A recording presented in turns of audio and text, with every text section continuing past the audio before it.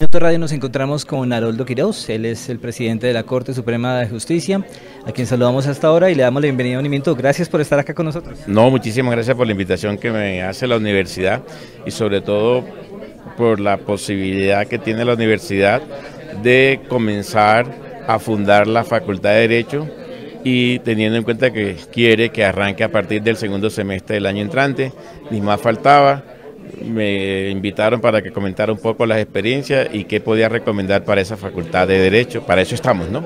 De acuerdo, así es. Y usted hablaba hace un momento en una charla bien interesante que mantuvieron aquí en el auditorio sobre el talante que podría llegar a formar un minuto de abogados y que requiere el país y que la justicia también necesita dinamizarse y está atenta a una reforma. Pero en ese orden de ideas, ¿qué abogado puede entregarle un minuto al país? Tiene que ser un abogado formado a través de las nuevas tecnologías, de la exigencia de una sociedad que está totalmente virtualizada y con fundamento en eso, la formación tiene que apuntar a ello. Dos, apuntar a un abogado con suficiente conocimiento en una ciencia totalmente interdisciplinaria que no solamente se refleje en las normas, sino que se refleje en todo lo que es el contexto social, es decir, en todo lo que tiene que ver con trabajo social, con todo lo que tiene que ver con ingenieros de sistema, que puedan acompañar para tomar soluciones de ese punto de vista. Me parece que ahí la universidad tiene un gran desafío para la formación de ese abogado, porque es el abogado para la sociedad digitalizada, que es lo que tenemos de aquí en el siglo XXI en adelante. En ese orden de ideas, y lo acaba de mencionar, la interdisciplinariedad obviamente permeada por la ética, y una ética que surge de una organización como el Minuto de Dios, que se basa en el humanismo cristiano y la ética, como el pilar fundamental que nos tiene como institución de educación superior.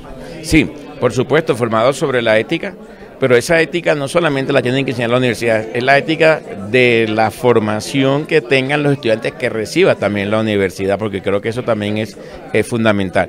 Y sobre todo también montada en el, en el humanismo, yo creo que eso también es clave para formar ese abogado humano sí que necesita esta sociedad tan polarizada en la cual hoy nos encontramos, sí, no solamente en Colombia, sino también a nivel mundial. Ya para finalizar, bueno, ese saludo para que vean a Uniminuto como una universidad que tendrá esa posibilidad de ser parte de esas eh, cátedras que tienen la posibilidad de formar personas que se dediquen a las leyes y a la justicia en el país.